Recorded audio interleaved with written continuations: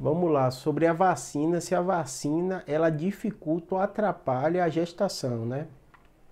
Em especial mulheres que estão querendo engravidar, ou estão tentando engravidar, ou estão no início da gestação, se isso pode gerar algum problema, né?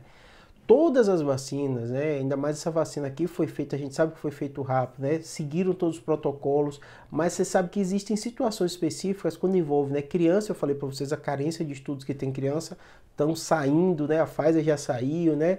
A Coronavac saiu também na China, mas você sabe que é sempre depois, né? E população gestante é sempre problemático. Até remédio quando a gente vai lidar no dia a dia, eu lido com mulher com engravida e toma antiepilético que operou comigo, é uma dificuldade muito grande de ter trabalho sobre isso.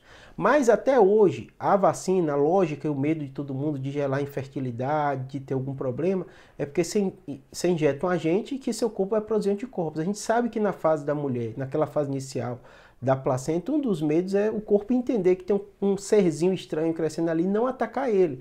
Então, de um modo geral, é uma mudança imunológica da mulher no período que ela está grávida.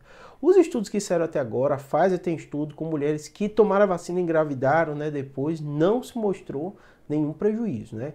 O futuro a gente vai ver, né? A AstraZeneca teve a questão da trombose, então não estão dando em gestante aqui no Brasil, né? São casos é, é, é, que aconteceram e o, o, governo aqui brasileiro optou por isso. Nem todo mundo lida da mesma maneira, né?